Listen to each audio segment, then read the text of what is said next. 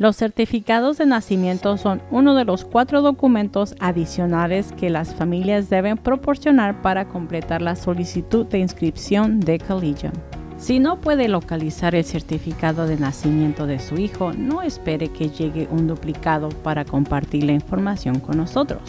En su lugar, puede enviar a Collegium uno de los siguientes documentos alternativos en el lugar del certificado de nacimiento original de su hijo una declaración notarizada de los padres o guardianes u otro familiar que indique la fecha de nacimiento del niño, el sexo y los nombres completos del niño, la madre y el padre tal y como aparecen en el certificado de nacimiento original, o un pasaporte válido del niño o un registro escolar previo en que aparece la fecha de nacimiento del niño o un certificado de bautizo del niño o una copia del certificado de bautizo que haya sido notarizada o debidamente certificada como un duplicado del original que se muestre la fecha de nacimiento del niño. Sube el certificado de nacimiento original